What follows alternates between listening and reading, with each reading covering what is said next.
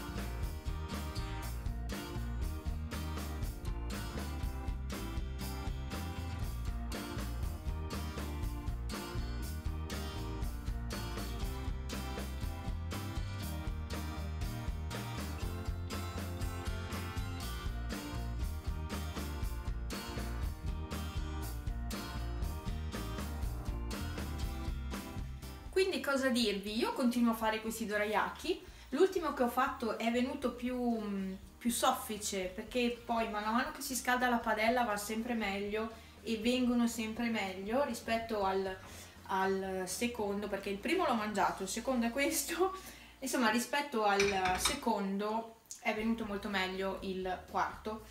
E niente adesso aspetto che faccia le bollicine poi giro. E questi sono i, i dorayaki, metà dorayaki perché in realtà un dorayaki è composto da due di questi, di queste simil, di questi simil pancake ehm, con dentro uno strato di noi in Italia mettiamo la Nutella, la nocciolata, queste cose qua. In realtà non, non, sarebbe il, il, composto giusto da mettere all'interno perché in teoria andrebbero conditi con una salsa dolce di fagioli Ecco, quelli sarebbero i dorayaki veri e propri. Noi qui in Italia usiamo la crema o la marmellata o la nocciolata, la, la Nutella, tutte le cose che abbiamo, però non usiamo la crema di fagioli, ecco.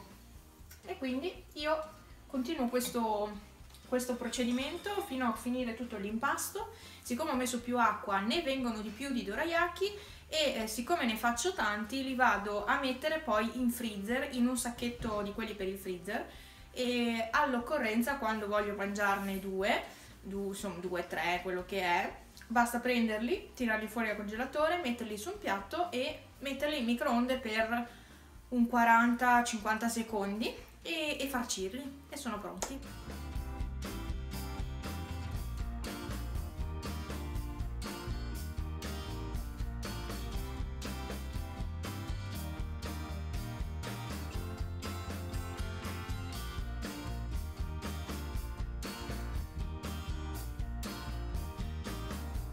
Quindi per questo video, per questo lunedì è tutto, noi ci vediamo durante i vari giorni della settimana, quindi mercoledì, venerdì e la domenica con il weekly vlog. Io vi ringrazio per aver guardato questo video, vi saluto, vi consiglio questa merenda perché ho anche come colazione veramente i dorayaki sono buonissimi e come dopo cena, avete lo spuntino di mezzanotte, ecco. E niente, sono veramente buoni, mi piacciono. Ci sono le uova purtroppo, però eh, io sono intollerante ma li mangio lo stesso perché non, me, non mi interessa, diciamo che non, non riesco a privarmi proprio di tutto, quindi li mangio lo stesso. E basta, ci vediamo in un prossimo video, ciao!